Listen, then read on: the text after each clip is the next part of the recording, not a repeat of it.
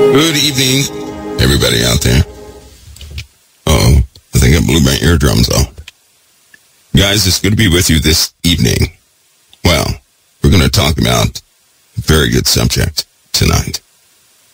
Very good subject. The harvest. How many of you know about the harvest? I'll tell you something. The harvest is the number one, the number one topic of this week. I can almost guarantee that everything is going to relate to the harvest. Guarantee that. We'll get into that. I want someone to keep a uh, a date log. Today is day one. Day one. And we have 40. Don't ask. Keep count. Today is day one. We have 40 days. So let's uh, do what we can do within that time so that we can be prepped and ready and prepared. Don't ask. But today is day one. All right, guys, tonight we talk about the harvest. Of course, that comes out of Revelation 14. It is a ongoing theme in the book of Revelation from 14 going forward.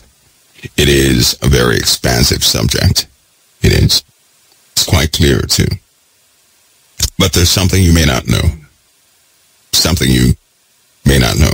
See, there's something everybody somewhat talks about. They don't like, not realizing. It is the number one sign of all times. We're going to talk about the number one sign of all times tonight. We're going to do that. Folks, I hope that everything is communicated quite clearly. Right? I do. Hope that you guys have your Bibles open. I do. Because all of us are in this. So let's get started, shall we? Revelation 14, you guys joined me last time we read. We were talking about the uh, three angels, right? Three angels. That was Revelation 14, 6 through 14, 13. Tonight we're going to read starting Revelation 14, 14. And we'll go forward from there. Now there will be some embedded subjects involved. I'm not sure how long that will take. I really am not. So, you guys, uh, if I start going too long, all right, just let me know. We don't want to wear anybody out. All right, Revelation 14, 14. You guys ready? Let's go. Also, some of you guys who you, you like to minister, get yourselves ready. Get yourselves ready. See, when I was somewhat under the weather, I got quite a bit done in the background. More than I ever thought I would get done. Somehow that happened, right? It did. And uh, that means we are, we're on track, right? I want you guys to continue to pray. Continue to pray for COT because every time we get close to being on track, right, obstacles come. This time, let's make it different. I want you guys to pray for COT that we can continue to go forward with the word of God, but stronger than before. Right? In his spirit. In the spirit of the Lord to make an actual difference. While everybody else out there, just, just saying, a lot of people out there, they are complaining about things and fighting and feuding. We're not going to do that. We're going to dare to make a difference as per the instructions of our Lord Jesus Christ. We have the avenues. We have the technology, right? We do. We certainly have the will. We have the wherewithal. We need a blessing to continue to go forward. Prayer to fight through obstacles that may rise. Because they will. Anywhere the word of God is found, you're going to find Satan trying to hold it back. You will. That being, he works through people, right? So that means all of us, all of us, we have to remain vigilant, watching ourselves, watching each other, right? To encourage. Make sure no one gets depressed. And any one of you, any one of you who is not at that level where you're not depressed, somebody needs to know about it, right? That's an emergency, I would say, inside of COT. That's an emergency. We all need to be on that uh, similar level. We all do. All right. Now that we have that out of the way, Revelation 14, 14. And I looked and behold a white cloud, and upon the cloud one that sat like unto the Son of Man, having on his head a golden crown, and his hand a sharp sickle. This uh, description kind of looks like Christ, right? One that sat like unto the Son of Man, having on his head a golden crown, and in his hand a sharp sickle, right? Let's continue. And another angel came out of the temple crying with a loud voice to him that sat on the cloud, Thrust in thy sickle and reap, for the time has come for thee to reap, for the harvest of the earth is ripe. Oh boy. The harvest of the earth being ripe is when everything changes. Everything. Everything. Let's continue to read because we're going to have to go back piece by piece and go into these uh, verses. And he that he that sat on the cloud thrust in his sickle on the earth. The earth was reaped, and another angel came out of the temple which is in heaven, he also having a sharp sickle. And another angel came out from the altar, which had the power over fire. And he cried with a loud cry to him that's, that had the sharp sickle, saying, Thrust in thy sharp sickle, and gather the cluster of the vine of the earth, for her grapes are fully ripe. And the angel thrust his sickle into the earth, and gathered the vine of the earth, and cast it into the great winepress of the wrath of God. The winepress was trodden without the city, and blood came out of the winepress, even unto the horses' bridles, by the space of a thousand and six hundred furlongs. That's a lot of uh, blood there, right? Now we can see the same thing mirrored, speaking at the end of this, we can see the same thing mirrored in the book of Isaiah. Same exact thing. Let's continue to read. We're, we're, we're on 15. We have to read this first and then we'll start to go back. And I saw another sign in heaven, great and marvelous, seven angels having the seven last plagues, for in them is filled up the wrath of God. And I saw, as it were, a sea of glass mingled with fire, and them that had gotten the victory over the beast, and over his image, and over his mark, and over the number of his name, stand on the sea of glass, having harps, having the harps of God. Now that, listen, if, if those people who lived in the time of the beast, who belonged to Christ, who made it, who maintained their faith, who had gotten the victory over the image, over the mark, over the number of his name, right? Where were they? They were standing on a sea of glass, having having the harps of God. They made it. If they're standing on a sea of glass, they are not on the earth. They're not on the earth. Right? They're not. Remember what we read before. Blessed are those who die in the name of the Lord from this day forward. Remember that? So during the time of the beast, it's going to be a ruckus on the earth. Do not fear, do not fear, do not fear. Because if you maintain your faith with Christ, you will get the victory. You will get the victory. Over the beast, over his image, over his mark, and over the number of his name, you will get the victory if you stay with Christ. That's why it's so important right now that we get a workout, that we talk soberly. I mean soberly.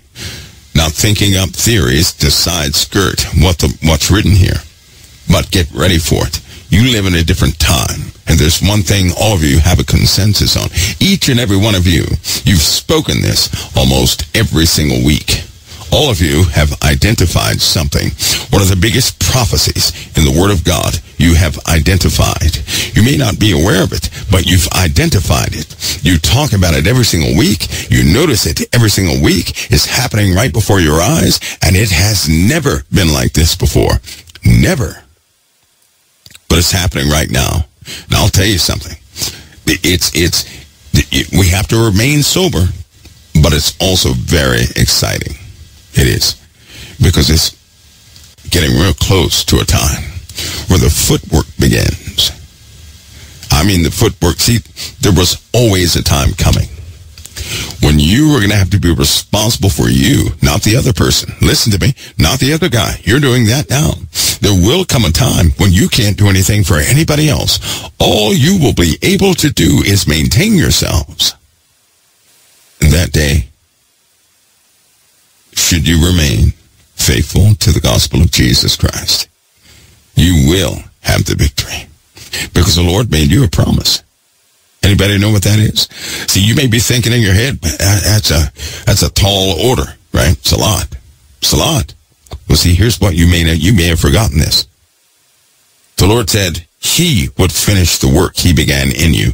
You don't finish it. He does by his power, by his authority, by his dominion. He will finish the work he began in you. See how foolish it is for people to say or to forecast upon another, oh, they'll never complete this. They can't do this. They can't do that. Oh, uh, that's right. They're not going to do it. The Lord will do it in them. He already said he would do it. He made that promise. He will finish the work he began in you. He will do it. Hmm? So stay sober in that fact. Don't forget that. That's why you don't walk around with fear of the unknown. So what about the unknown? It may be unknown to us. It is most certainly not unknown to the Most High. And He knows how He's going to deliver us. He already knows. Don't be deceived by the speech of negative people out there who are giving up left and right. Don't you give up. Stay the course. I encourage you to stay the course as best you can, not in comparison to somebody else. Stay the course as best you can with what you have. Remember the seven letters to the seven angels of the seven churches. One of the letters said, hold fast to what you have. Strengthen those things that remain that are ready to die. He's telling you to stay put. Keep what you have. Keep going forward be a steward over what God has already given you, over the knowledge that you have, and start working with the tool set God gave you. Because sometimes you'll not work at all and say, well, I'll work when I have this or when I have that. Don't do that. Don't do that. Take what you have right now and be that steward God called you to be over what he's given you, the truth that you have the gospel that you have, the compassion that you have, the strength that you have, the wherewithal that you have. Go forward in the Lord with what you have. And give it your all. Give it your all. Do it with a heart of peace and with love. And honor the Lord with everything about yourselves. You want to turn around? That's it. Let's continue. Let's continue. And they, they, listen, and they sing the song of Moses, the servant of God, and the song of the Lamb, saying, Great and marvelous are thy works, Lord God Almighty. Just and true are thy ways, thou King of saints. Who shall not fear thee, O Lord, and glorify thy name? For thou only art holy. For all nations shall come and worship before thee, for thy judgments are made manifest. And after that I looked, and behold, the temple of the tabernacle of the testimony in heaven was opened. And the seven angels came out of the temple, having the seven plagues, clothed in pure and white linen, having their breasts girded with golden girdles. One of the four beasts gave unto the seven angels a, the golden vials full of the wrath of God who liveth for ever and ever. And the temple was filled with smoke from the glory of God and from his power. And no man was able to enter into the temple till the seven plagues of the seven angels were fulfilled. Isn't that awesome? Nobody entered into the temple of God until these, that means nobody's, you know what, you read about that, how no one is in the temple of God. Not in the heavens until these seven plagues are issued, until these seven plagues are fulfilled. So at this point in Revelation 15, right, God's people are standing on that sea of glass. Those who got the victory over the beast. Now those who did not, those who gave into it, right, those who gave up, those who fainted, those who fainted, those who fainted, right? They're on earth. They're about to endure some things they, they do not want to endure. This is the cruel and, and terrible day.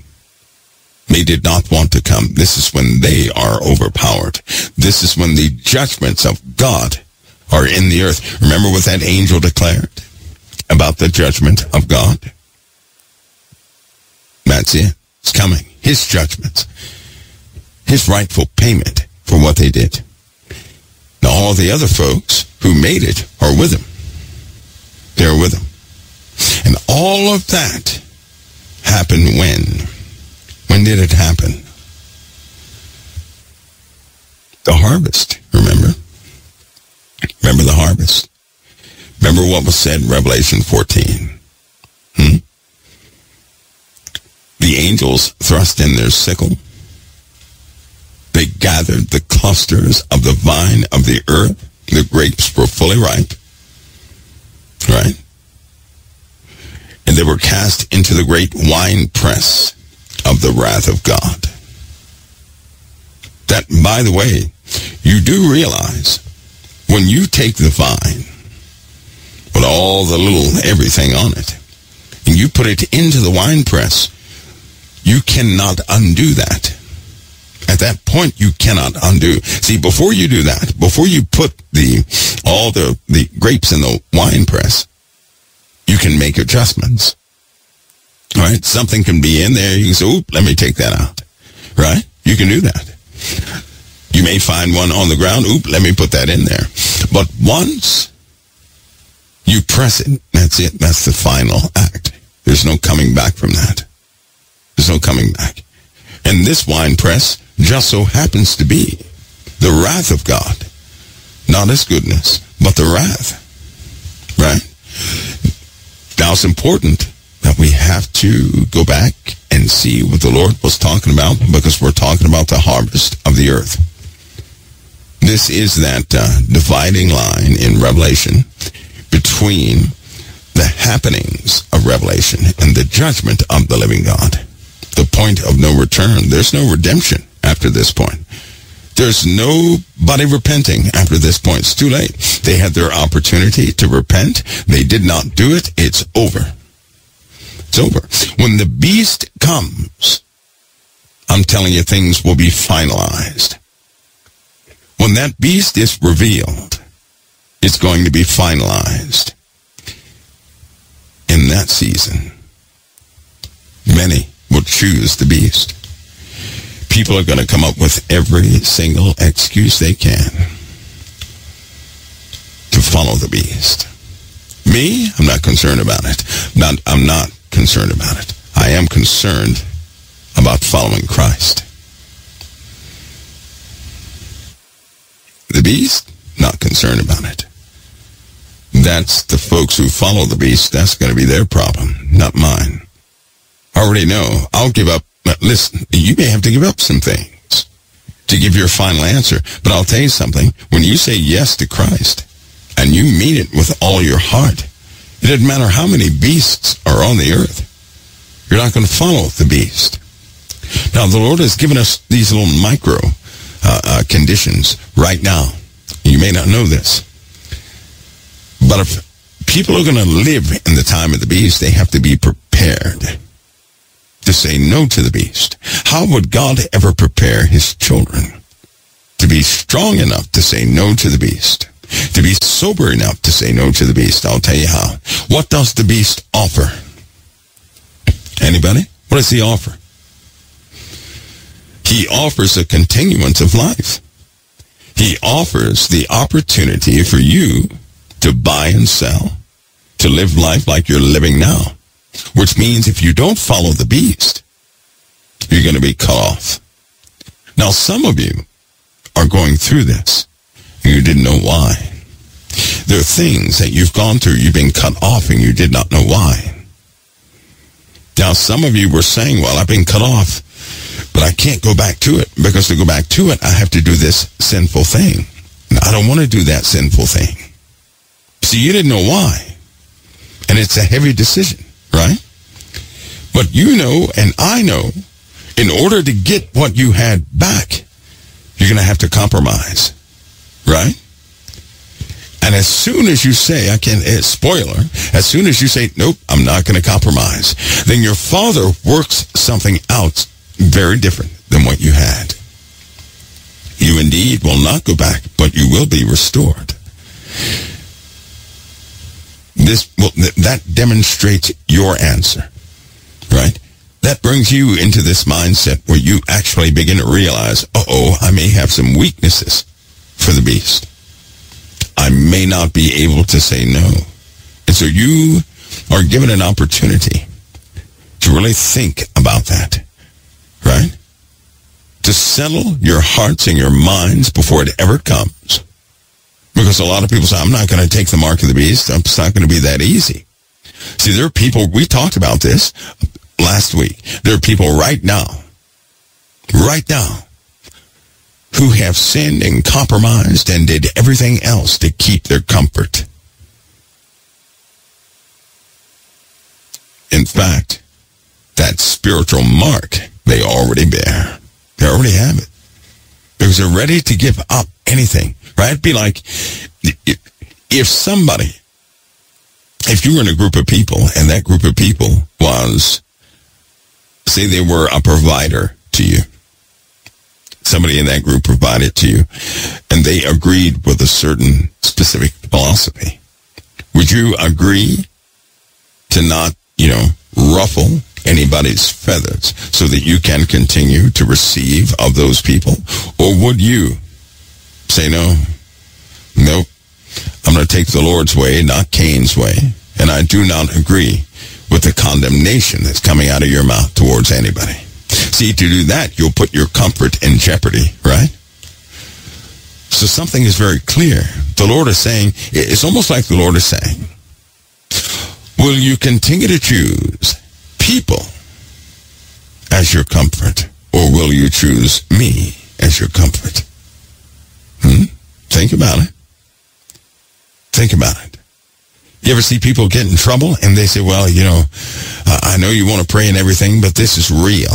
You ever hear somebody say that? This is a real problem. I don't have time for that. And see, what that does is it reveals to that person prayer is of no effect. It's of no effect to them. To a person who relies upon the Most High, the first thing they'll do is pray because they need guidance. But to the person who relies upon the world, who trusts in the world, they're not going to pray. They're not doing it. It's going to be last on their list.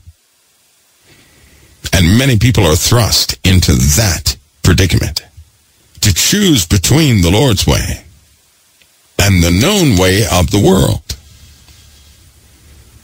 See, when the mark comes, it's going to be worse. Can you imagine you being in your house? You refuse to take the mark of the beast. Your citizenship is pulled. You become like an illegal immigrant. Can you imagine that? Having your citizenship revoked? No license. No bank cards. No nothing. And they want you out of whatever place you're in. Now, who in the world could stand that? Who would say yes to Christ and endure all of what comes with that? When everybody else on the street is throwing barbecues, you said no to the beast. And they cut your utilities off. And everybody knows who you are. And they start spitting in your direction. All sorts of things will happen. Because you have the old ways. You're believing in the old stuff. And they want you away from their new utopia. How many people could endure that? I'll tell you something. The Lord is allowing us. He's allowing us to see what that's like. If you pay attention to your own life. See, if you're on easy street, right? The only people I know of that are on easy street are those who do not belong to the Most High. Everybody else is having to make some tough decisions. Hmm? Everybody else. Lord have mercy. See, with the Lord, you have to you have to make sure things are clarified, right? Now, the Lord did say when you're about to be drugged before the courts, the judges, he said, don't think of what you're going to say beforehand. The Holy Spirit will give you in that hour what to say. Don't mix that up with making up your mind today. Today is the day of salvation, not tomorrow. Today, the day you're given. You are to choose today whom you're going to serve. And so what I'm telling you is this. The more you say yes to the Lord today, and if tomorrow comes and you're in it, say yes again, but do it from the heart, do it honestly. You're going to be built up like a fortress. And when that time comes of the beast, you will have been built up enough to, to be kept, no matter what happens. No matter what happens, you will be able to stand no matter what happens. But you've got to start today. You cannot start this tomorrow. Nope. Because listen, if you say in your mind, I'm going to do this so and so tomorrow, guess what? Four years ago, you probably said the same thing and you still did not. You did not start it, did you? Because you're always going to end up saying, I'm going to do it tomorrow. I'm going to do it tomorrow. I'm going to do it tomorrow. I know people right now, it's been at least 20 years, and they're still saying, I'm going to get to it. I'm going to get to it. I'm going to get to it. Today, make that decision today. See, because who's going to be unfortunate when this time? There are a lot of people who don't believe the beast is coming. And when the beast comes, if you've been spoiled, it's not going to be easy for you. It's not. It's just not going to be easy for you. Those who have hardships now are going to be built up in strength. They're getting used to something nobody else is getting used to because they are to be kept. Those who are being babied and pampered, they're going to be weak, just like the Lord said they would be weak. The Lord said that because they rejected they rejected his correction. They rejected his methods. They rejected his trials. They rejected those things. As soon as trouble came, they said, Lord, get me out of it. I don't want to see it or anything else. They did not realize that trouble just does not come to a saint. No, no. That's your Father speaking to you. Every problem you go through, the Lord is asking you, is this enough to get you to turn away from the family? Is this enough to get you to fall like Lucifer fell? And if we give in to that problem, we're saying, yes, it is. This problem can make me fall. And you know, that's a big problem because listen to me. If you can com- be compromised right now by anything, by anything, by pressure, by anything, by your family, by drugs, by anything, listen to me carefully. If something can get you to walk outside the path of God, then at any moment, all Satan has to do is recreate those conditions and he's got you. He's got you. He's got you. See, a lot of people want the problem to go away. You're to overcome everything. You are to face and overcome everything. You are never to run. Stop running because it weakens you. The Lord chewed people out in times past because they taught his people to run away, not to face things. Hmm? They are to face things. You start running away. Fear can tell you that that situation was anything, and you'll believe it. You'll believe it so much that you'll be fearful. Fearful, it'll come back again. If you face it, you can see it. You may be scared. But the Lord said, what? What would the Lord say? He already told you he would do something. He would show you his salvation. In your weakness, his strength is made perfect. See how that works? That's when the Spirit rises up in you. And if you've not felt that before, what that means is where you would have no power in a certain situation when the Spirit rises up, you'll have strength you never thought you had. It's coming. People have been pursuing the worldly life. Just telling you that now. And the Lord has been telling us from the beginning of the Bible until this very time, get ready, I'm coming back. And I will not come back for some corrupted thing. No, I'm coming back. And he gave us a lifetime to get ready. People are trying to live forever. They're trying to make this their paradise. And many can't see it. Somebody asked me, why don't you take a vacation? Because my, I don't need a vacation. My joy is in fulfilling things that the Lord gives. My joy is not in a vacation. I don't need a vacation. I don't. I need to accomplish what the Lord has given me. I need to help people because people are in trouble. I want to rest. I don't want to do any of those things because somebody is starving to death. Because somebody does not have somebody giving them the word of God because somebody is lost. Somebody's fearful. Somebody's unprotected. Somebody's forgotten.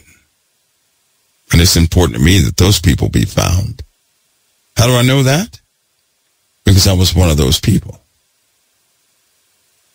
I was one. And if not for the Lord directly gathering me up, there'd be no me. So there's no way I'm going to turn away from somebody else. There's no way. It's not going to happen. Hmm? And I love my Lord for it. Because of all these trials, I can endure more than I used to endure. I can endure a lot only because of the trials and tribulations and troubles and all these obstacles and everything else. Hmm. Your time of deliverance is coming. Prepare yourselves for it. Your Lord is coming back. Prepare yourselves for it. Prepare yourselves. Let's continue. I'm going to read something to you guys. I'm going to read something. We're going to unlock a can of worms tonight. Yes, we are, but we're talking about the harvest, right? We're talking about the harvest. Now, before we talk about the harvest, harvest, what sign is given for the harvest? It was echoed in Revelation 14. It was echoed here. He kept saying the earth is ripe. Put the sickle in, the earth is ripe, right? Put it in. The earth is ripe. How is the earth ripe? Let me go ahead and tell you. Iniquity and wickedness was at its top level. And there it is. The number one sign of all signs. Listen to this carefully. Listen. Iniquity and wickedness is the greatest sign you'll ever have. Ready for this? When the wicked spring as grass and when all the workers of iniquity do flourish, it is that they shall be destroyed forever. That's the judgment of God. That is Psalms 92, 7. Isn't that awesome? That's awesome. That's revealing. What about this one? Put ye in the sickle, for the harvest is ripe. Come get ye down, for the press is full, the fats overflow, for the wickedness is great. The command is given when iniquity and wickedness is at their height. And what do you see in the world? What do you see in the world? Now, it's very difficult for new generation people to see it. But what do you see? You see iniquity, abominations. You see people who have totally perverted the way of the Lord. You see people who have no problem rewording what thus saith the Lord. That's what you see. People are just changing the Bible. They have, they they have no conscience. They don't care. They'll do what they do so they can get what they can get. They don't care. Wickedness is great, and it is one of the greatest signs we'll ever see. And you're seeing those signs. When a country, when a country authorizes wickedness, you know we're in trouble. It does not matter what a person thinks. It matters what the Lord said. When a nation authorizes wickedness, game over. Game over. And the nations of this earth have been authorizing iniquitous things, but now it's totally wicked. Absolutely 100% wicked. And that wickedness is spreading.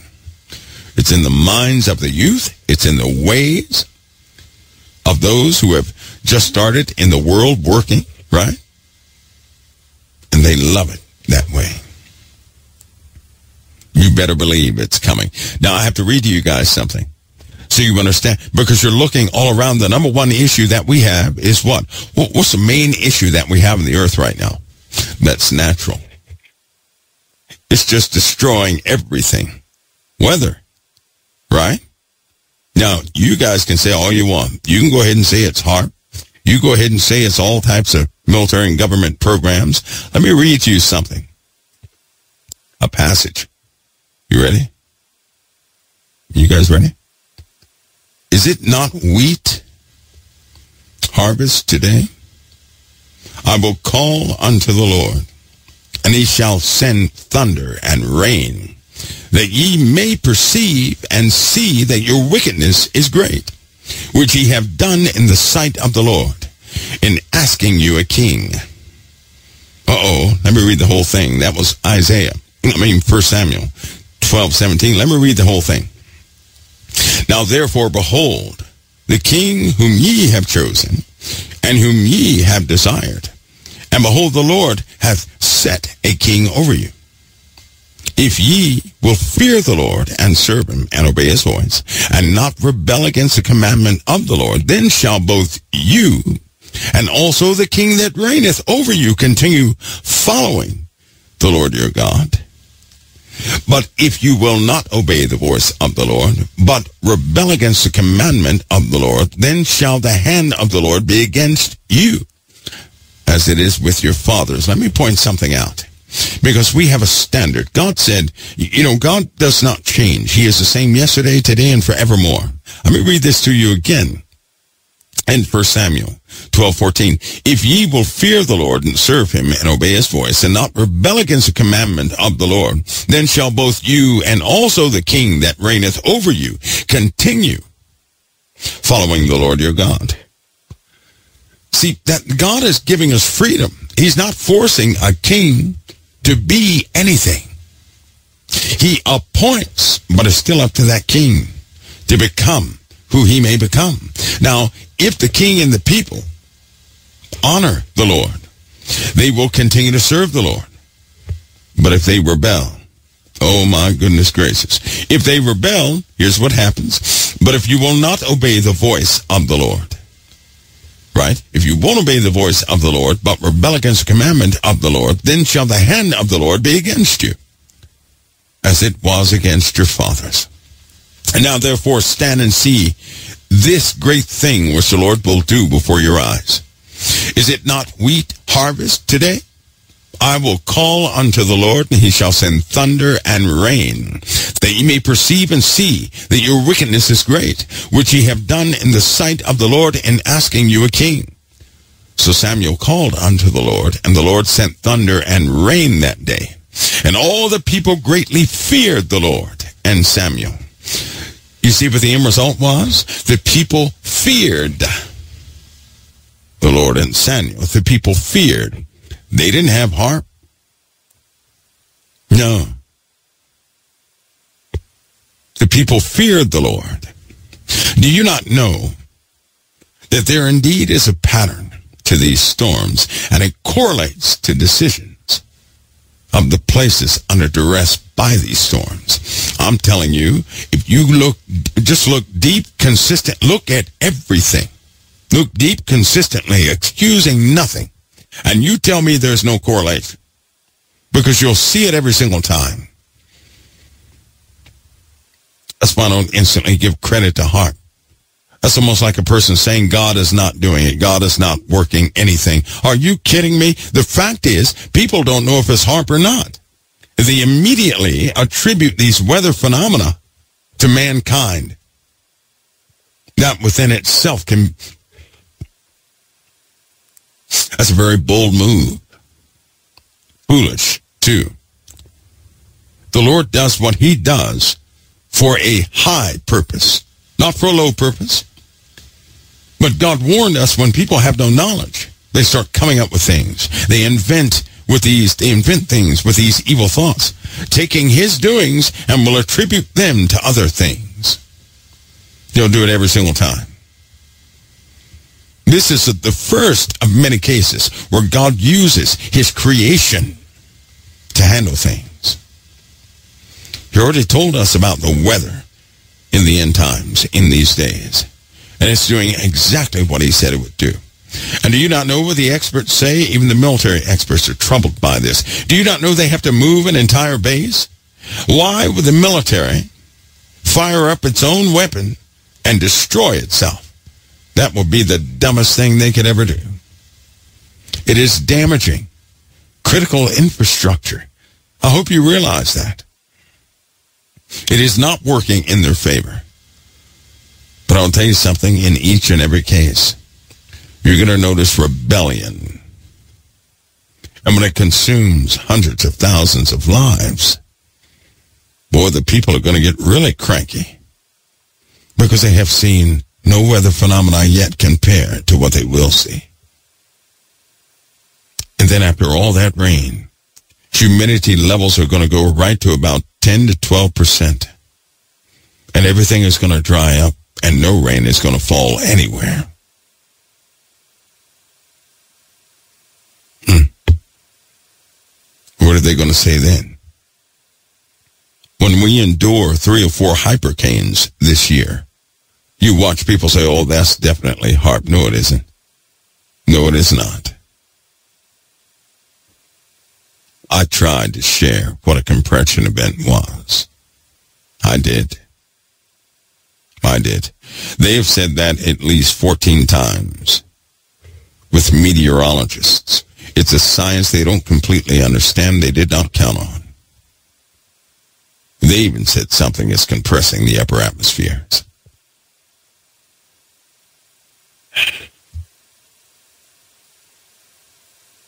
What I know?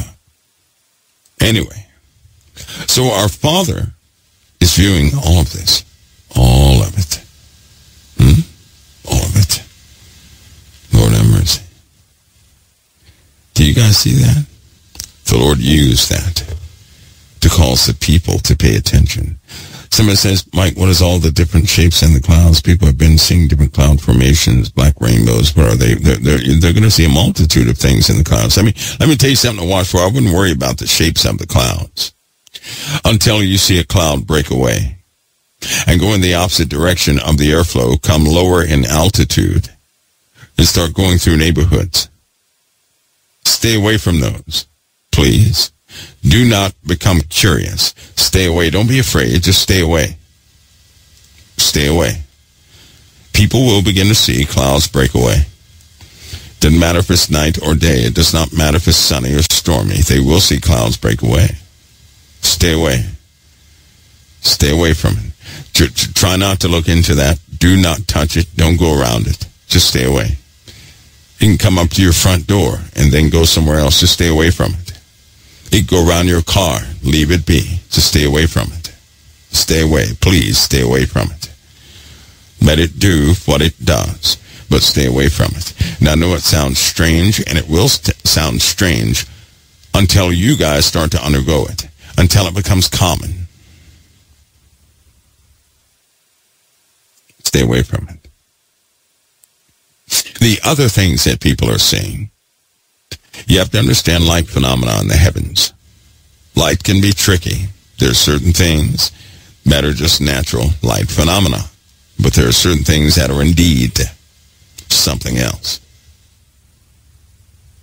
They are indeed something else. The best rule of thumb is this, right? When you become curious about things to the point where you get excited, that's the very reason God does not show angels too much. Because people would begin to worship them. It can throw off the course of your day. Be about your father's business. Be about your father's business. Right? Don't let something that is uh, amazing looking throw you off or have you investigate where you have forsaken everything else. Believe me or not, but the days are coming when you will grow tired and troubled by seeing too much. And another day will come when you will desire that the Lord withdraw all knowledge in you of seeing anything. Man will desire to return back to the days of innocence where they are right now. Because when these things begin to manifest and you see these things, you can forget innocence. It's going to trouble people day and night. Many will have heart attacks because the manifestations will be so dense. Too many manifestations. Too many things happening. And when you see the one thing and think you're free from that, something else will manifest. This is the, this is what the world is turning into, and it's already happening. It's happening already. Please don't be curious, George. Please. In the eternal realm, you'll know about it all. You will. And some people are unfortunate enough to know certain things about those uh, manifestations.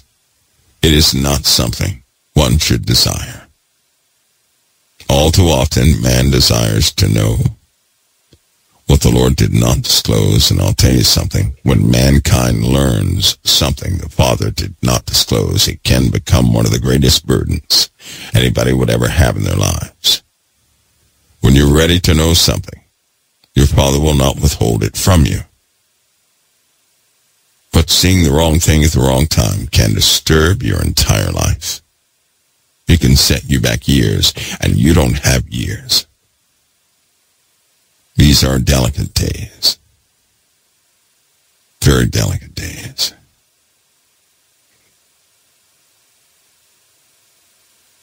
Somebody said, did you see the news about the hundreds of thousands of people giving their lives to Gaza? Well, we kind of have firsthand,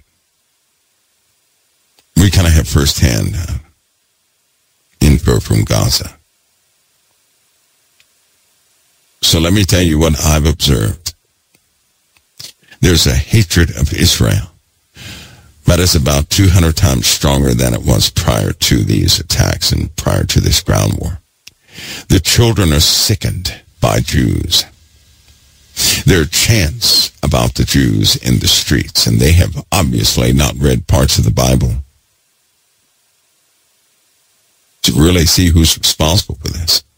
They attribute these heinous acts to an entire people. I don't care what the deed is, that is wrong. And is absolutely 100% wrong.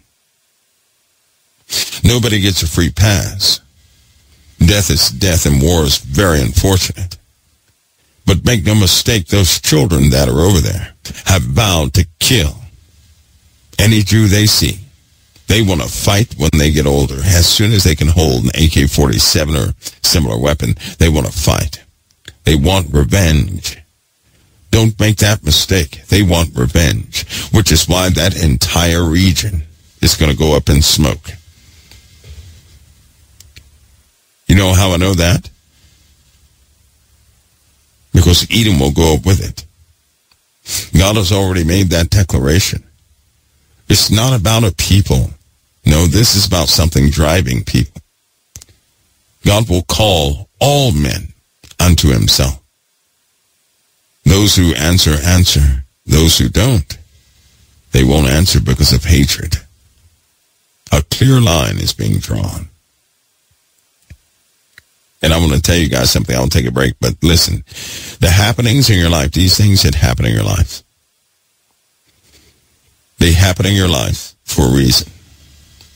Satan will always attempt to have you utilize any unfortunate thing in your life so that you can hate something. Satan will always give you a target. Your Father in heaven never does that. Satan is the one that will give you a thousand reasons to hate something. God is the one who will give you 10 billion reasons to forgive everything. Satan's under pressure. His day of condemnation is coming. And he knows it. He's in a rush. So he's teaching hatred to as many as he can with everything that takes place. Your Father in heaven does not teach hatred. What's happening in Gaza is very unfortunate. But, but, but don't think stuff like this just happens. Please don't operate by that type of view on things. Like for some reason, everybody over there was innocent. Right? And now all of a sudden, you know, the innocent people are dying. Many do not know the acts of the folks who occupy in those places on both sides. There are people in Jerusalem that should not be in Jerusalem. There are people in Israel that should not be in Israel. There are people in Gaza that should not be in Gaza. There are people that do things. You have no idea what they do because if you knew, then you'd really be confused as to why someone would give someone like that a free pass. You think Saddam Hussein was bad, throwing people in meat grinders while they were alive? Huh? Families essentially being ripped to shreds, their babies, pregnant women, the whole family. Who puts a whole family in a meat grinder? Saddam Hussein did. Anybody who opposed him, that's what happened.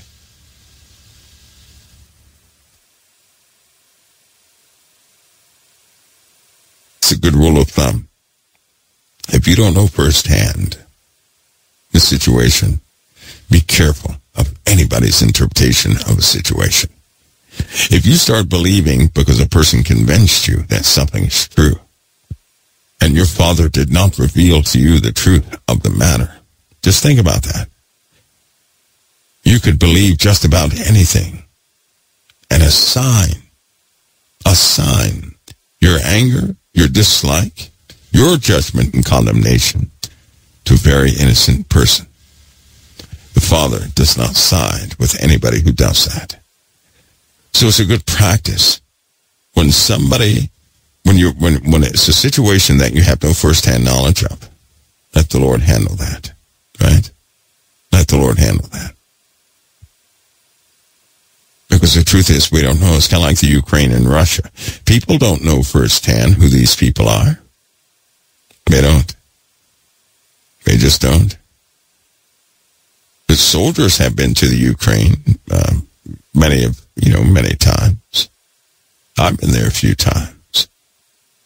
And I'll tell you something, the gospel's needed everywhere. Don't fall for the okey doke, for the rhetoric that you hear on the news. The regurgitation of the, the news stories. People regurgitate news stories, adding bits and pieces to get hits on the internet. Please don't fall for that. You will know the truth soon. Everything in the darkness is going to be brought into the light. But it seems that the media is primarily concerned with propaganda to have the people believe a specific narrative.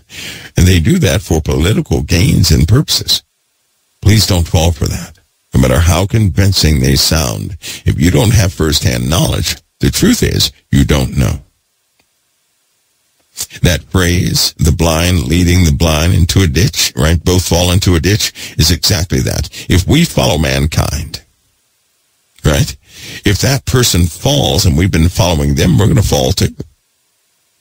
That's precisely why you don't follow mankind. You can compliment your brother, but follow Christ. He'll never fall into a ditch. If your brother falls and you've been following Christ, you can reach out your hand and pick him up from falling, right? But if you're following him, you're going to fall right behind him. Like in some of these churches, you guys will witness this. If the pastor of a church falls and the people have been following the pastor, then the congregation is going to fall. But what would happen if the congregation was not following the pastor, but they complimented the truth the pastor spoke? That means if that pastor falls, the congregation can say, oh no, let's give him a hand. See, they won't fall with him, but they can assist him in getting back up again. See how that works? But if you follow man, if you trust man so much that you would take his word from a, but in truth, you don't know these newscasters. So in, essentially, you're taking a stranger's word because of their professionalism, because of what they're convincing you that they are. You're taking the word for it and believing it wholeheartedly. That we would then take that word and go give it to somebody else as though it's truth. We have to really be careful of that. Nobody should do that with them, especially you guys. You're children of the Most High, called by a higher standard. You can't do that of newscasters, nor can you do that of me. You've got to look in the Word of God. If I align with the Word of God, good. Very good. But you can't blindly repeat what I say as though it's absolute truth. I too am but flesh, full of errors, prone to things. So don't do that. That would dishonor me anyway. Compliment me by knowing the truth the Lord has given you from his word. So that if one day I start slipping up, falling all over the place, you can say, Mike, come back home.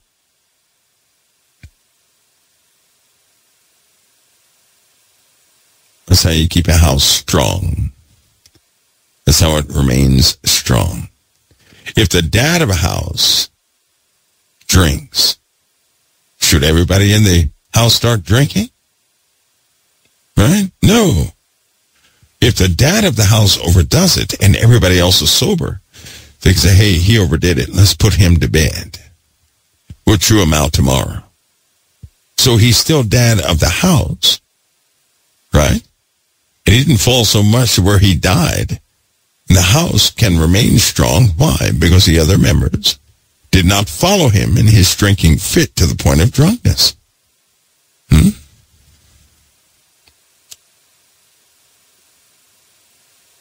God is so good. He is good. If we would only apply what the Lord has given us. I believe, listen, folks, I believe that when things like this start coming forward, it is pretty bold. People hate for anybody, especially if, when I come forward with things like this, believe me, I'm hated big time. Every time I say don't follow another person, oh, I'm hated. I believe me, I'm rebuked and hated and everything else. But it's incredibly important that all of us follow Christ and all of us have an understanding that if we do not have hands-on knowledge, first-hand knowledge, then essentially we are believing the words of someone we don't even know.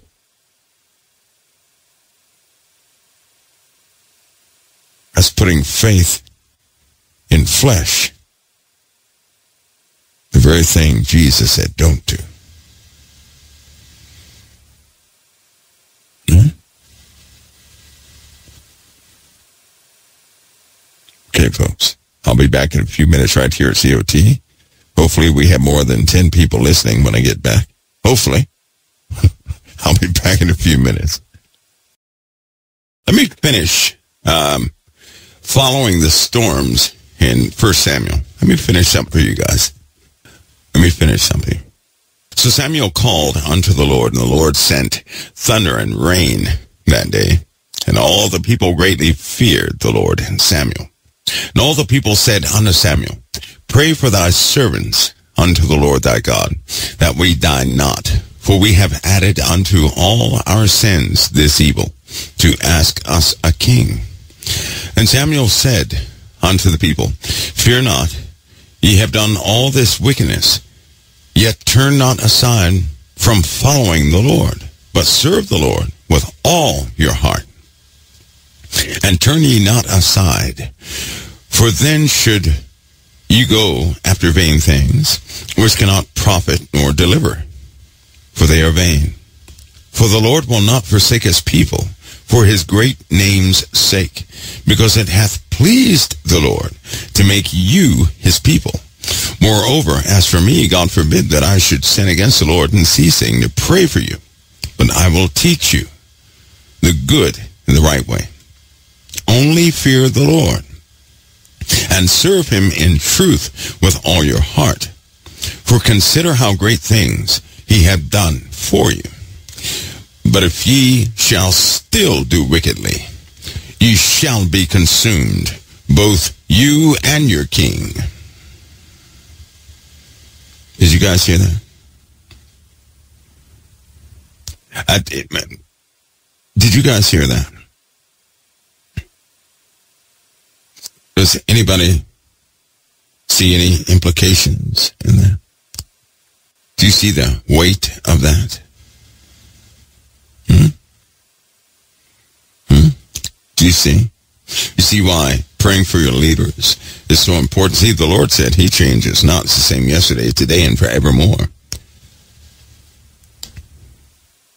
Those people, right? Listen, they wanted a king just like people do today. Um, um, the same thing that happened back then is happening right now before your eyes.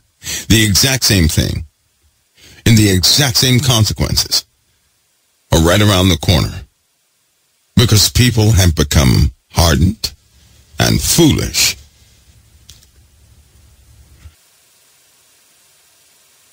Just like these people, God has done great things for us, Americans. God has done great things for us. And look what people are doing. They're not asking for the Lord. They're asking for a king. They're not asking for righteousness. They're asking that they get their way. Back then, because Samuel was not going to stop praying for them. He knew what was at stake.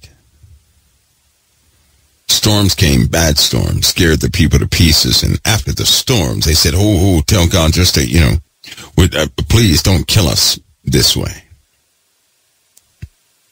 Please don't kill us this way. Right? And what did he said? He said, I'm going to continue to teach you to do right and pray for you. But just love the Lord with all your heart.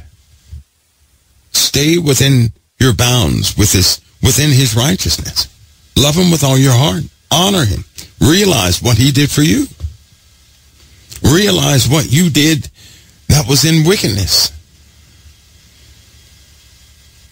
God has selected you. You didn't select him.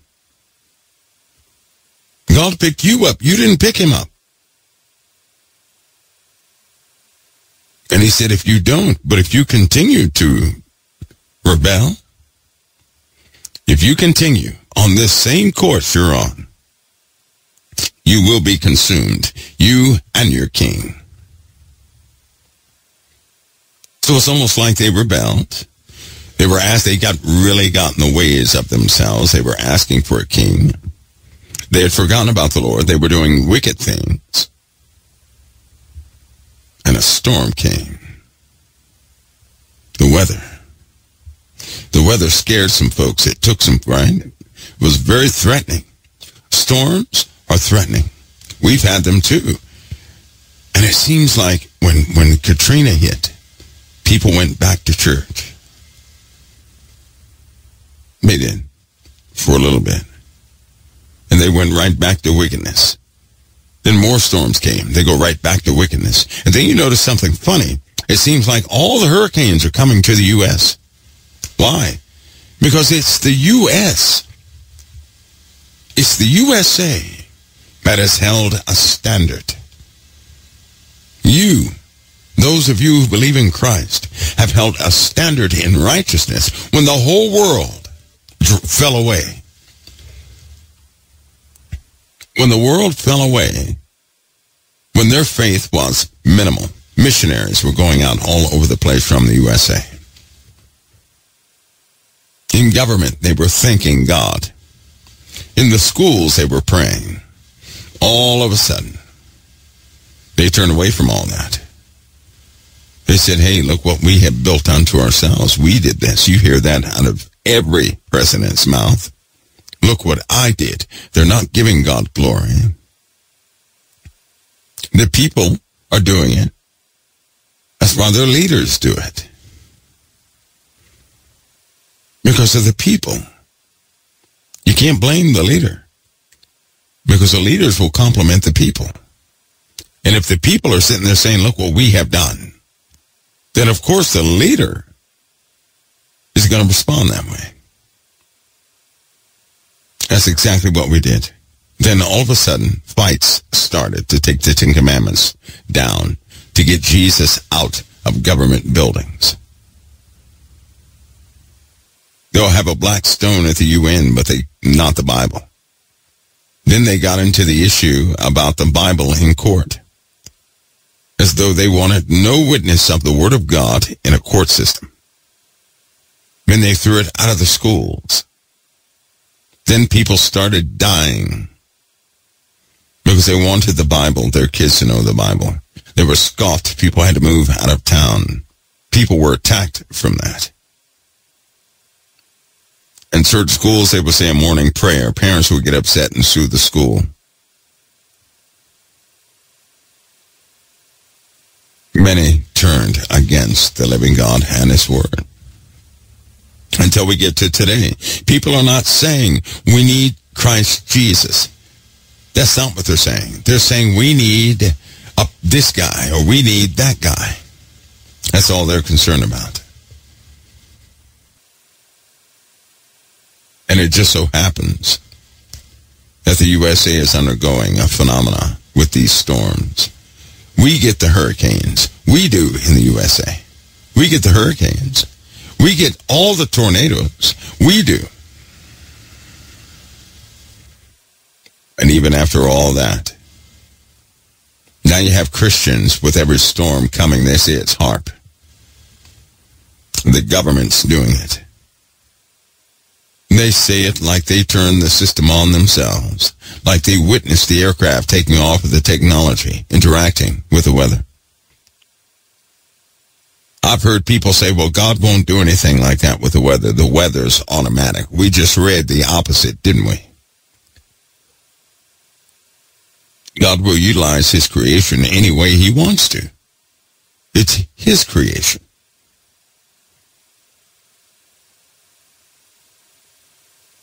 It's so similar to today.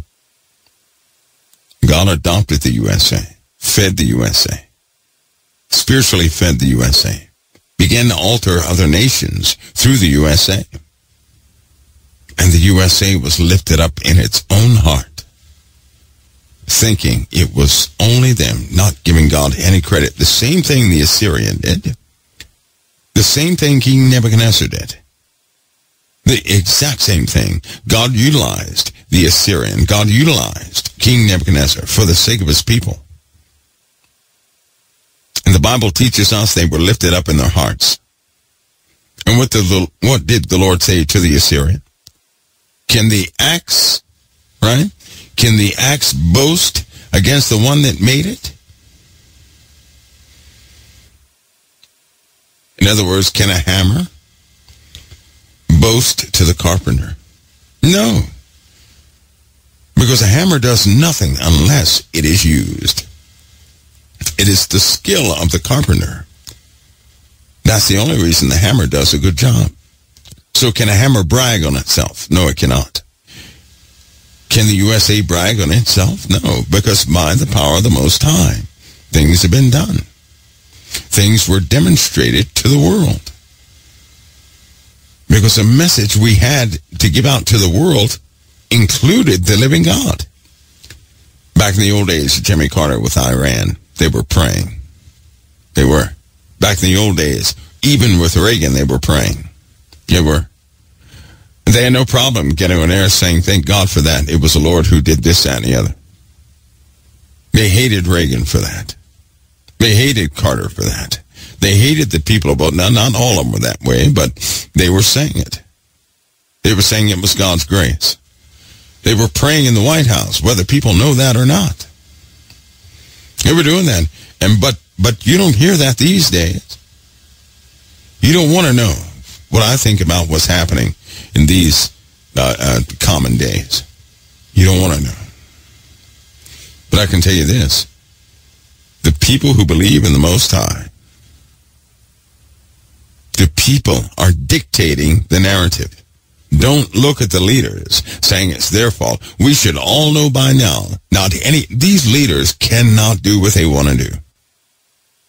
They cannot. They do what they do by demand of the people. Remember when Donald Trump wanted to build that wall? Why did he not build the wall? Somebody give me an answer. What happened? What happened? He couldn't build the wall. And you, you know, and I know, he wanted to build a wall. What stopped him? Cold in his tracks. What stopped him? What stopped him from building that wall? Come on, let's get this. What stopped him? Thank you, Congress. That's right. Congress did. Congress. So a president cannot do what they want to do. They can't do that. And Congress was working against, you know what? In fact, didn't everybody talk about Donald Trump like he was a, a moron when he first came into office? Yes, they did. They made fun of him. They made jokes about him and everything else. Then all of a sudden everybody turned around. Do you know why? Because the people, they weren't making fun of him. The people were demanding him. And when they found out that the people liked him, Congress changed, didn't they? Huh? Congress changed. Because of what? Because of you. Because people began to write in saying, what are you doing making fun of our president? What are you doing? You you want to lose your seat? And they changed their tune. So what does that make them? They're almost like harlots. I hate to put it that way, but they are. They have forgotten that they serve the people. But in this case, the people have forgotten that they're children are the Most High. That God graced us with this country. That people died so that we can live in this country and have our homes with the holes in the roof that people were over here starving in the winters. You know what it's like in the winter when you're camping and there's no store to go to? Nothing was over here. People were eating each other to stay alive or they would starve to death. So I'm telling you, they shed their blood to establish this country. You cannot tell me man did that by himself. The Most High had to be involved or would not have happened. Then we get to a time like this. He settled everything so that you could be put here. He didn't put you in a time when they were here in this country and bears were attacking everybody and they didn't have heat houses or anything else for the winter. He didn't put you here during that time. He put you here now. He didn't put us here so that we could sit back and relax in our lounge chairs and agree with the world. No, he put us here to make a difference because we're right at the end of the matter. And people have forgotten about the Most High. If you go back and read 2 Samuel chapter 12, you're going to find out once uh, that when the prophet gave that warning, he prayed. He prayed. The Lord always does that. Listen to me. Listen to what I'm saying. Forget about a prophet saying anything. Let me tell you what happens. The Lord will have his way made known in the land. And when the people know it, the Lord will then demonstrate. If the people continue to rebel, it's going to fall apart. It's going to be over. As people who are called by the Most High, are we taking everything the Lord did through humanity for granted? I pray we don't.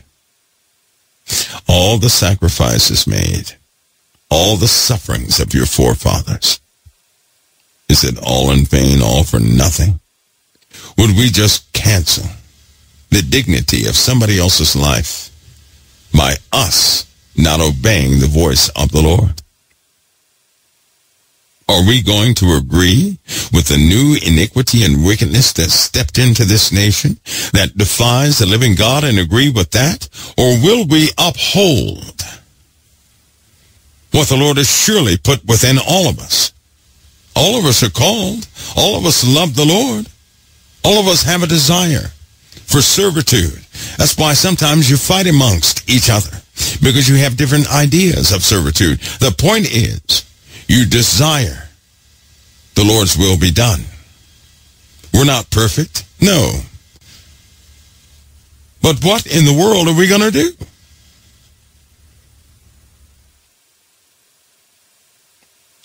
Because I'll tell you, I, I, this part I know. If you think this is going to be a repeat of any year before it, you're wrong. You're miserably mistaken. There's a strong calling right now. There is a strong spirit of both warning and truth right now. And if God's people do not move, well, we just signed our own suffering warrant. Then we deserve what comes next. All those people who gave their lives and were unwilling to give and give anything, were frightened to give anything, were frightened to stand within the integrity of which we are called? We're scared to death that somebody may look at us or not like us. When those who came before us faced everything. And they established what they established for their children. See, they were over here suffering. And they knew it in their minds. They wouldn't make it. Many knew they wouldn't make it, and they said, I'm doing this for my children. They kept diaries. It's in the diaries. Go back in history and read it. They did what they did for you and for me. But here we come, and we just what? Throw it all away? Dishonor the whole act? act as though the Lord didn't do a great move. Do you know how much of a great move that is to get people to, to, to go into a death situation and begin to prepare things for their children knowing that they will die? Nothing was settled here. There was no escape from the wild animals from the bitter cold, from starvation, disease. There was no, no relief from that. They went headlong into it because they wanted to establish a land of freedom for you. Now what in the world are we going to do with that? Please think about that. because something is trying desperately to get us to be complacent. And how in the world can we be complacent? When everything this nation was truly built upon has been pushed away.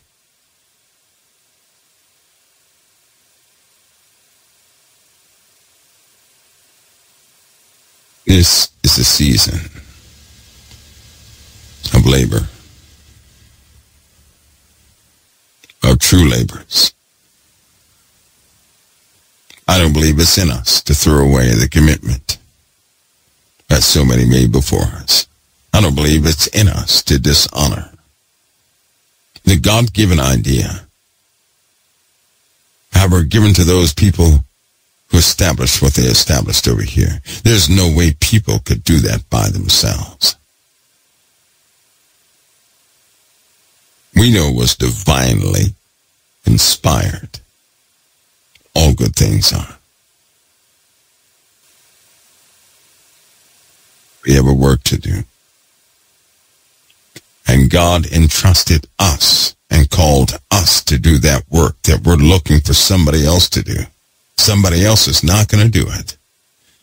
That's why I sing you so strongly. Every day of your life, you wrestle with it. But now you know why. It's not somebody else's job. It's not their task. It's not their calling. It's our calling.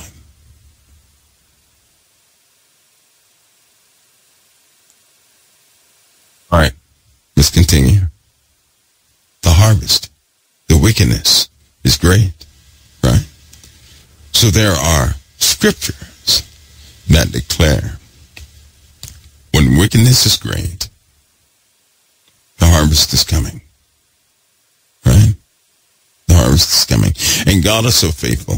He is so faithful. Listen to this. It may be that the house of Judah will hear all the evil which I purpose to do unto them, that they may return every man from his evil way, that I may forgive their iniquity and their sin. Jeremiah 36, 3. That is so beautiful. Listen to me. You know what that means? Listen to what I just, listen to what I just read. It may be that the house of Judah will hear all the evil which I purpose to do unto them. Then he gives us a reason. That they may return every man from his evil way. So in other words, God being a just God will give us the conditions of our full consummation, us being consumed, the finish of our walk in a bad way if necessary. He's going to tell us the truth, that we will perish. But for what reason would he tell us all these things? That we may return, each and every one of us, from our evil way. In other words, when you're walking in that way of evil, you identify the warnings, right? You see the warnings. You get frightened. You don't want any part of those warnings. The Lord allows us to see these warnings, to see the manifestations of a great many things. He's encouraging us to get rid of the evil. He's showing us the consequences of following that evil path. And you will never escape it. You'll never escape seeing the consequences of it. In the hopes that we'll turn from it. I'm bringing this up because Revelation, Revelation is about a bunch of, is you see destruction there, don't you? You see it. You see warnings. You see a great horror sent to humanity. An inescapable judgment is what you see. Why would the Lord show us this early? Why would he show us this early? Why would he allow us to see this early? Why give us prophecy in the first place? Because I'll tell you something, every time we start thinking about prophecy, and when it truly hits us in the heart, that's when we sober up. And we say, you know, Lord, I want no part of that destruction thing. Because you'd be surprised. Evil, something that's truly evil, right? They already know they're going to be destroyed, and they choose to be evil anyway. But the righteous, in truth, they want no part of destruction. It's not part of them. And so they see the consequences, and they'll ultimately say, I don't want those consequences. That's not me. I don't want that. Here I am walking in the earth desiring peace. I don't want the consequences. I would, I would like peace. Then we come to our senses, Lord, forgive me, don't we?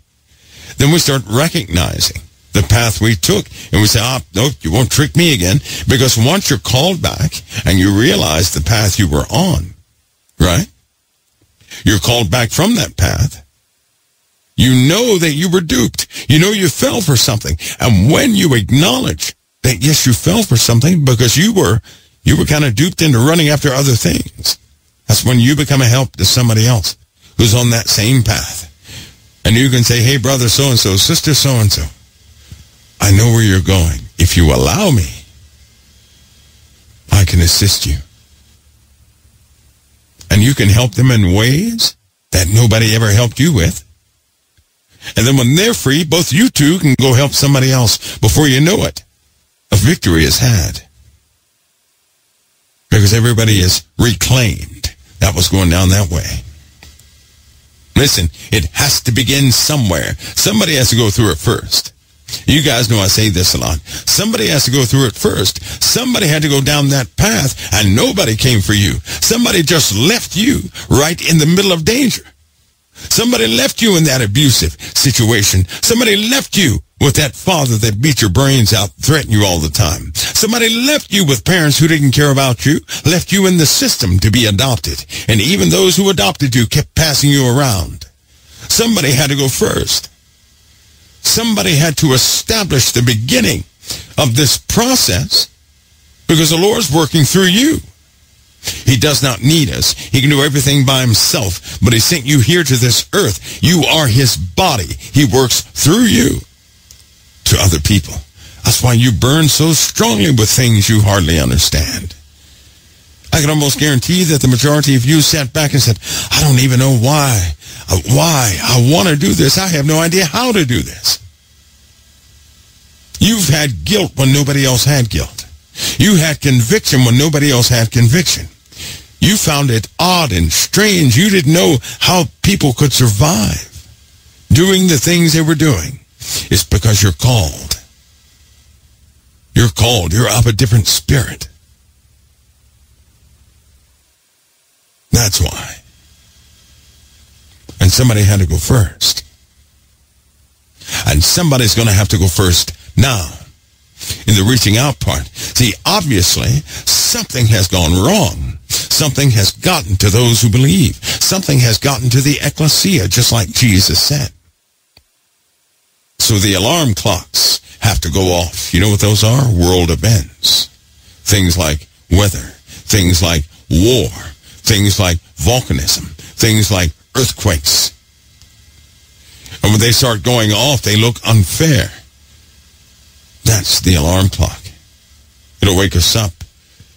At that point, if we consider and we are shocked into remembering, we'll turn away from iniquity and all this other stuff back unto the Lord our God.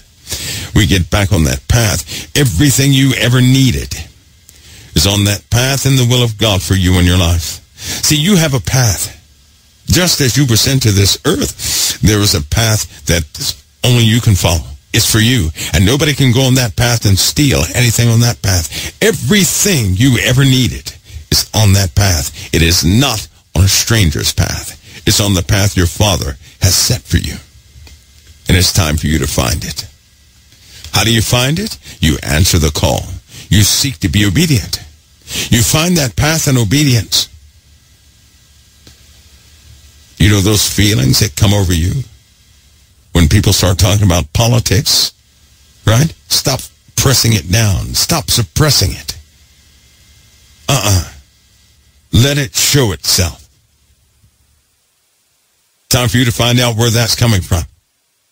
Why do I not like this? And what is this in me that does not like that? You start to face and address it to be purged of anything that would see in truth nothing is supposed to move you except the most high. You're not to be moved by politics by somebody's good or bad nature. You're not to be moved by any of that. You're to be moved by the most high only. Nothing is to have power over you but it does. Because if you can be moved by those things your life can be steered always. All somebody has to do is put that in your way, and you will steer clear of it. Time for you to face it.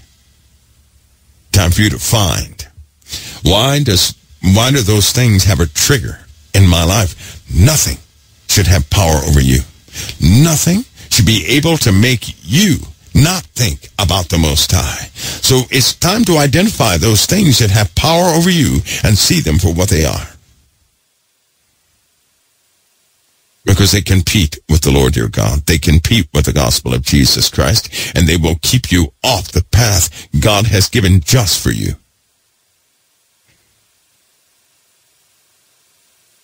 You ever get a bunch of Christians together? Nobody discusses politics. You know why?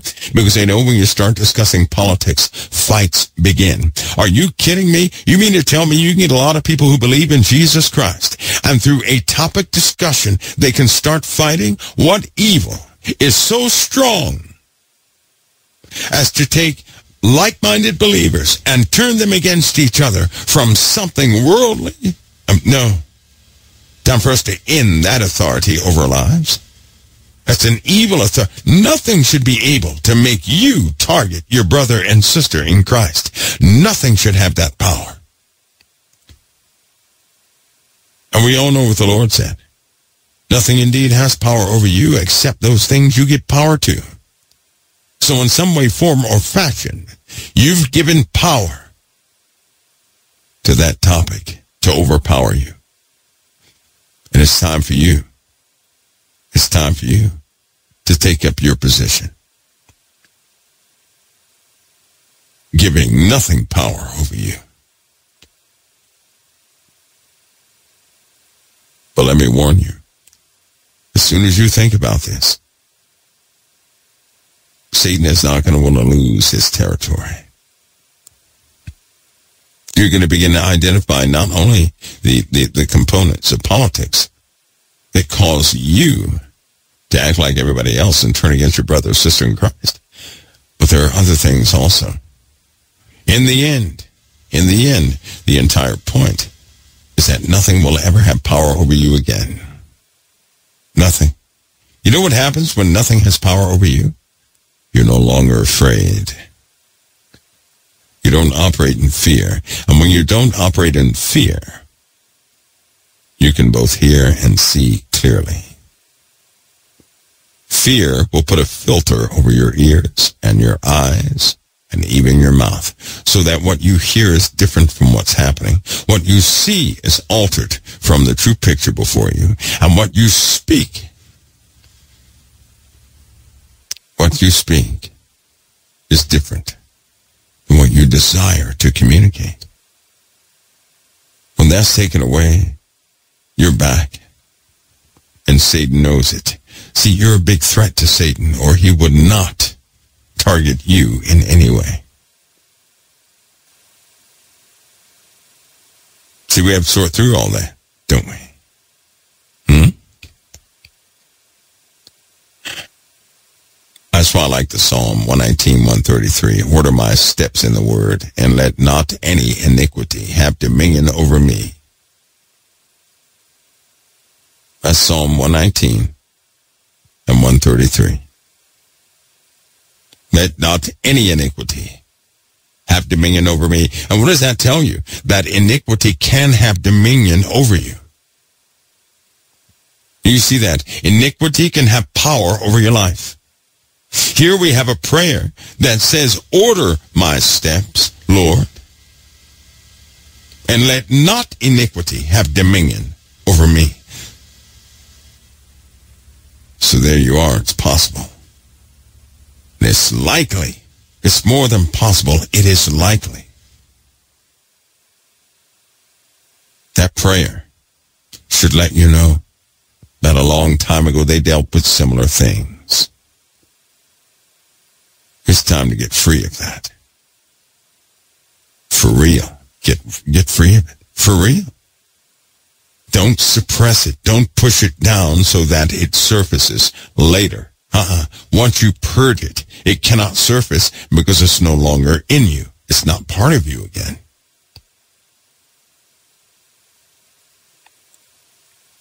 So long as you suppress it, it is in fact a chain, a burdensome chain. None of us need that chain.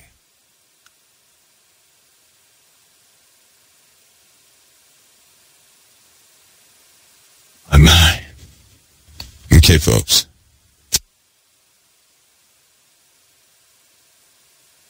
God will deliver his people. We know that. Right? We know that. And there's something else. In this time of iniquity and the rise of iniquity, we see in Revelation the harvest is taking place. Now, Jesus spoke about this harvest. He did. He spoke about it by giving us a story of a sower, right? A farmer that sowed a field.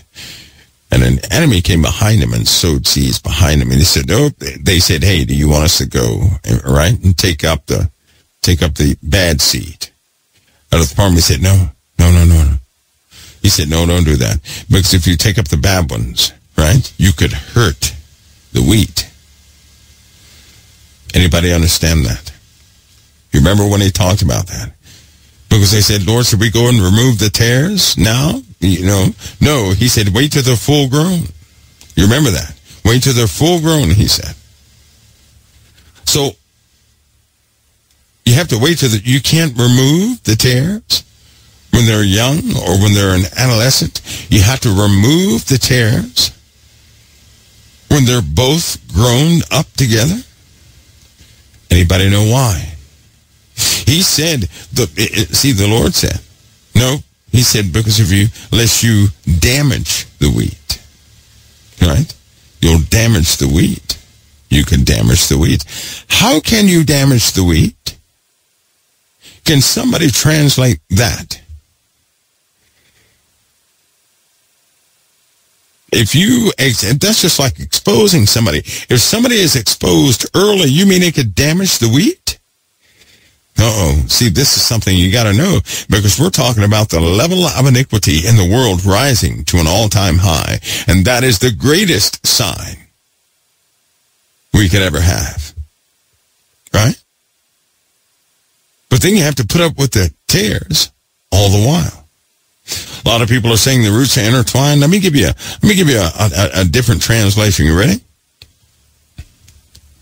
In the real world, you have good people, evil people, and good people growing together. When I say by good, I mean those who are marked by the hand of God that will ultimately come to Christ. They've been called, right?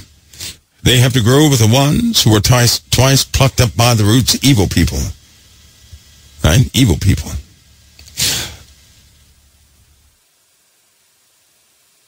Say we started COT yesterday, and somehow the Lord gave me extended vision, and I can see everybody in COT in a, in a very black or white nature, meaning if a person is one of the dark ones, they're tare, and if they're light, they're wheat, and I can see it, right? So I say, okay, we just started, we're just giving an example. Suppose we started yesterday for the first time.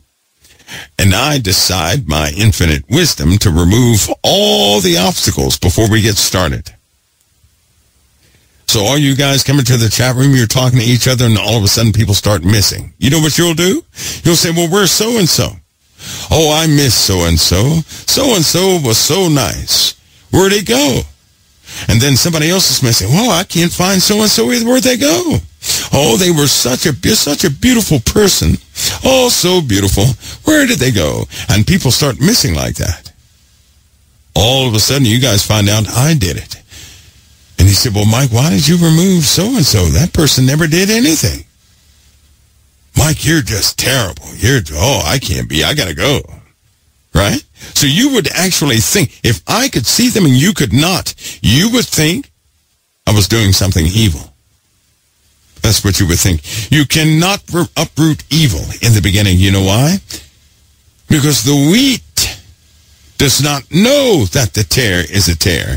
And if you pull it up, they're going to have no understanding as to why. They'll say, well, that person was just a nice individual. That person was beautiful. I don't understand what happened to them. Hmm? So the Lord said, no, wait till they're full grown. And when they're full grown, I'll command the harvest. And all the tares are going to be gathered up into bundles and burned. And all the wheat is going to be gathered into my barn. See that? Which means what? It's very difficult to know. You cannot know who is who until what? See, when you're full grown, what determines if wheat is full grown or not? Fruit, fruit, fruit. It must bear fruit. That will let you know it's ready. Correct? That will let you know when it bears fruit. Before it bears fruit, you don't know what it is, and you may assume everything is good. But when it bears fruit, folks, follow me on this. When it bears fruit, the harvest is coming. What you see in the world right now is the fruit. You see the fruit. You're starting to see the fruit. You're starting to notice people out who have been out there for a long time. And you're seeing the trail of fruit of, of darkness and evil that they have in their lives. Now you can understand. Now they can be removed. Because see, about 20 years ago, you, you say, no, that person was good. See, Jesus told us, you'll know a tree by its fruit. He never said you'll know a tree any other way. He said you'll know it by its fruit. He taught us that principle. It's taught in the Old Testament. You're not going to know something any other way than by its fruit. You're now in a time when the fruit can be seen because when the fruit can be seen, it's time to harvest. That's when you take the vine and you throw it the great wine press of the wrath of God. The fruit is being seen. And listen, when the fruit is yielded, the tree does not care what you call it. Once the fruit yields, once you can see that fruit, once the fruit is there, right? Then even the tree knows. It knows. It knows. And it knows that everybody else knows. So then it's somewhat emboldened. In nature, you say, you see an apple on a tree and say, you're an apple tree. And the apple tree will say, yes, I am.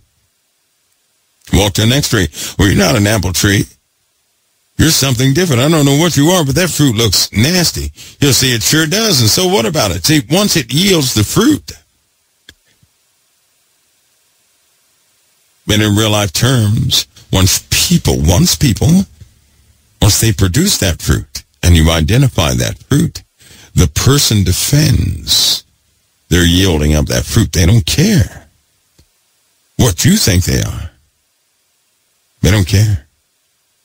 They're found out to be exactly what they are, and that's what they end up being. See, in the time of the yielding of fruit, that's when people display what they truly are.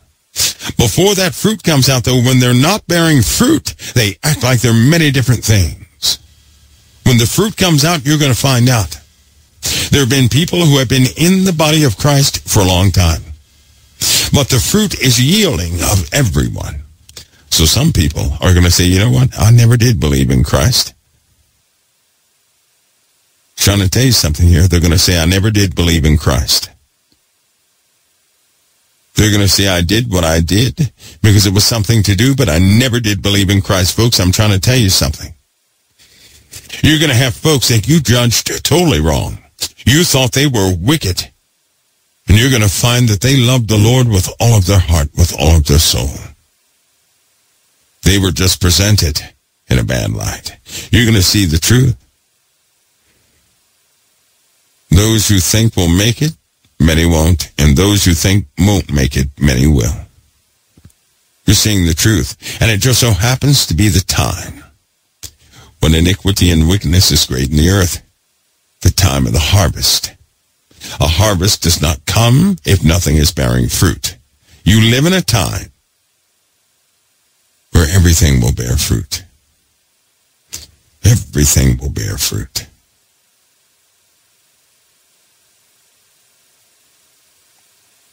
You guys got that? Hope you see that. Because these times are going to become, they're, they're going to be fast. They're going to compound each other. They will. In identification of these days. Right? It's good. It's good because you understand what's within it. And it can refine your walk. God does not work in vain things. He doesn't do it vain things. So everything we're going through is highly purposed and is in fact for our deliverance, our perfect deliverance. Hmm? Iniquity, wickedness are the greatest signs of the end times. It is in fact when the Lord says, put ye in the sickle, for the harvest is ripe. Get you down, for the press is full, and the fats overflow, for their wickedness is great. The wickedness is great. These, in Matthew, in Matthew, remember the Lord said, the harvest truly is plenteous. That's what he said. You've been living in a time where men labor, right? Where people labor among the plants of the harvest, right? I want to separate this because Jesus said, remember he said, um, um, uh, the harvest is truly plenteous, but the laborers are few. Remember he said that. So what the Lord has done here is this. The harvest, the harvest was indeed plenteous right? The harvest is not coming because he said, don't let someone say that the, you know, the harvest is coming. No. He said the harvest is right then and there, right? So the laborers of the harvest help the fruit, help, help that fruit be picked, right? They help that fruit come forth. The laborers. We have entered into other men's labors for helping the wheat to grow, right? Helping it because some have grown and, and, and they did bear fruit. But those have to grow up and then go back and help the little ones out. because they're bearing fruit. So you have different, you know, different heights, different heights. But then there was always a time coming where all the layers and all the ages of the wheat would be harvested, where everything would show exactly what it is. And it just so happens we live in that time when the iniquity is great in the earth. That's it. That's precisely when all the tares are identified. The wheat would have yielded everything they're going to yield. See, I know a lot of people say, well, you know, tares look just like wheat. They do. But uh, I'll tell you something. If the wheat produces wheat, right? And all of it all of it because when you plant things, when you sow things, you know what season they're coming up in. So you have to get people out there to work the fields. And as they work those fields, because some people were just watering. See, the Bible, Jesus put it this way. He said, you have entered in other men's labors. One man can come, right, and sow a seed. Another can come behind it and water the seed. But it's God that gives the increase. And what he means by that is you can labor in the field, but God determines when the water and when the seed work with the soil so that thing grows. God determines the growth of it. We don't determine the growth. Nobody determines the growth. God determines the growth. God gives the increase. He does. And so when he said that the laborers are few, there were still, you know, things had to be watered.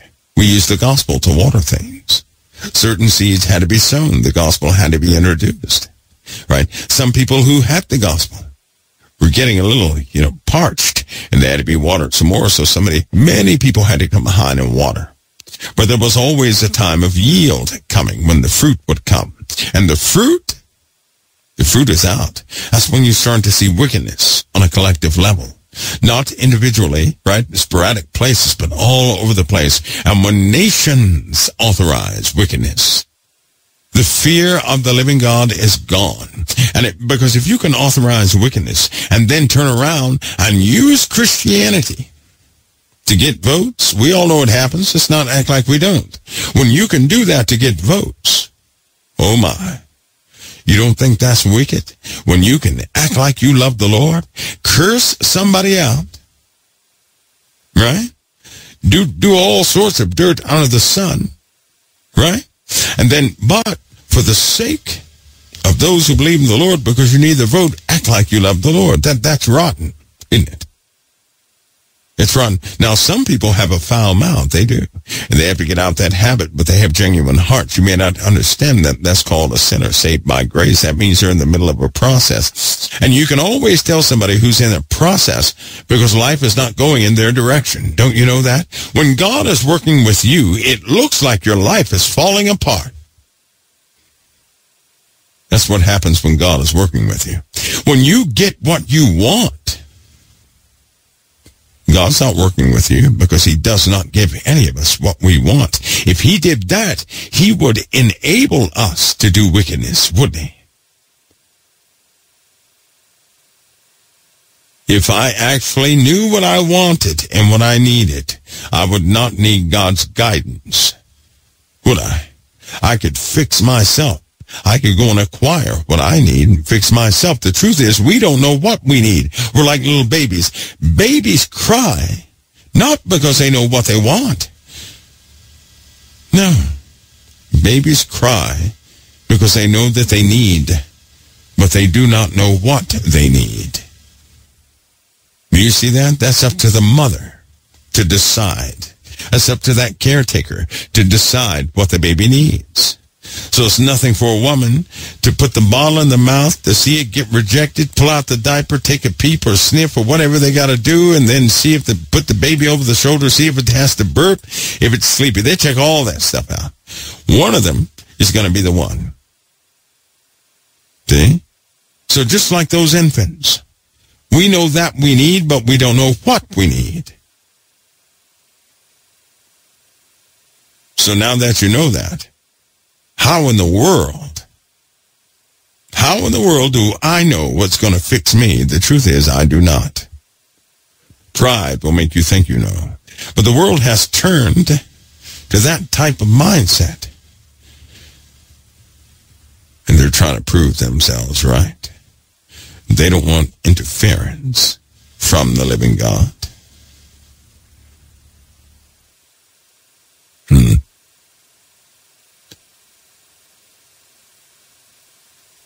Okay, let me get the. I- I'll tell you what, folks. Let me take a short break. I'm going to be back in just a minute. Just one moment. I'll be right back here in a minute, right here at COT. Okay, everybody, I'm back and lost track of time. I did. I lost track of time. I did. I'm supposed to be down at 9 p.m. At 9 p.m. I want to tell you guys something, though. This is, uh, we have so much more to cover. We do. And as you can see, God has given us, He's given us such a word. He really has. He's given us insight after insight after insight. And if we stay true to His word, right? Not so much what I think, but the word, we can grow. We can accomplish. We can overcome. And most importantly, we won't really leave anybody behind. That's very important to me. It's extremely important to me that nobody be left behind, right? So that brings up an issue. Problems are something that we all have, right? And let's go ahead and face it. All of us are at different levels. We are. Guys, if you're at one of those levels where you are really just you're one of those levels where you feel like you, are unsure, you know, things of that nature, please let me know. If I have to put together a series of extra broadcasts, I am prepared to do that. So I can talk to you guys, help you and assist you. Now I'll tell you right now, I cannot get you to where you want to be. I can assist you. It is the Lord who's going to get you where you need to be. And we'll seek him out together. Okay? That's where people of faith come together, right? And we go forward by way of truth. It, it, it really is time. And listen, tonight we discussed one of the what are the major signs of the end. You may not have heard it that way, right? I'm, I'm not sure that anybody ever talks of it that way. But in my world, wickedness is one of the greatest signs of the return of Christ anybody could ever see. Because of how we're seeing it and because of how people are. See, a lot of people, they, they look at different things in the Bible and they are fascinated by what God can do, right? By the effects that take place in the earth. And, you know, that's fine. But I'll tell you something, something about me. What blows me away every single time is when you know about a set of prophecies and I look at specifics of people, right? What amazes me is people end up being just as God said they would be in a specific season. That blows me away. It blows me away when people end up being exactly what God said they would be. And when he's talking about wickedness, hmm? wickedness, when the harvest, the harvest is going to come at the height of wickedness, we are seeing it. We're seeing nation after nation authorize wickedness, right? Somebody in Saudi Arabia paid $3.2 trillion. And where'd they get that money from? To do something. Do you know that? They're going to draw the whole, they're going to draw, uh, it's going to draw just about everything and everybody down there. Now, many projects have been started in the Middle East, but this one has been under construction for a while. And these guys are going. I mean, they're, they're doing it. They're doing it. And it just so happens that indeed a specific tribe has come on the scene. A tribe that the governments do not trust, but a tribe that's extremely rich. And through its lineage, things are happening already. Already things are happening. And what I'm trying to tell you guys is this. Very soon, God will have revealed to us who this person of doom is. All of us, collectively, all of us. The Antichrist is going to be revealed. Right? But we just read tonight that when the Antichrist is revealed, God's children are going to get the victory over the mark, the number of his name, the beast, all that. And that also, because they got the victory, right? Those who got the victory, those who are with the Lord, they're going to be on a sea of glass right before the wrath of God pours out. Now, based on what's happening in the heavens, because it deals so much with the wrath of God, I mean, the timing is going to be impeccable. Those things are already on their way. They're already on the way. So, this earth is going to turn into a very different place month by month. All right, folks, listen. Not going to hold you hostage. Not going to do that. I won't do that. Somebody said reveal within the next 40 days. Well, this is day one. And I won't explain what that 40 days is. Somebody keep count of the days. This is day one.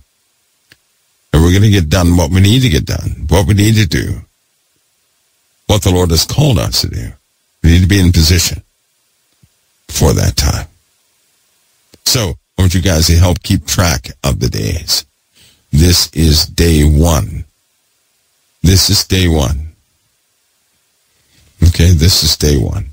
Folks, listen, I'm going to join you guys again. We're going to unfold and open up more cans of worms. Many more cans of worms. We're in a part of Revelation that is very uh, rich in content. Takes a lot of referencing. And believe me, it's going to bring out quite a bit. I, I look, I pray it's a blessing to all of you. I do.